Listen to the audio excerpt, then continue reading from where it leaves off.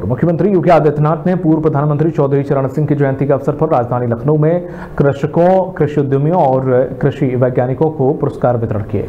इस दौरान सीएम ने महान किसान नेता चौधरी चरण सिंह को नमन करते हुए उन्हें विनम्र श्रद्धांजलि दी और इस दौरान सीएम ने कहा कि उत्तर प्रदेश की भूमि सबसे उपजाऊ भूमि है और कृषि में तकनीकी का उपयोग किसान अपनी उत्पादन क्षमता को बढ़ाने में कर सकते हैं। उन्होंने कहा कि आज भारत दुनिया में नई ताकत के रूप में उभर रहा है।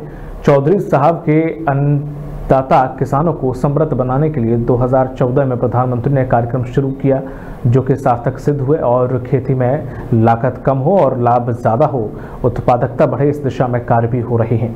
उन्होंने कहा है कि पहली बार देश में किसान फ़सल बीमा योजना लागू हुई है। उत्तर प्रदेश में पिछले पाँच वर्षों में कई कार्य हुए हैं और सरकार आने के बाद से हमने छियासी लाख किसानों के कर्ज को माफ़ किया। हम सब के एक मार्गदर्शक के रूप में है। हम सब जानते हैं। आज़ादी के तत्काल बाद चौबीस साल में इस बात को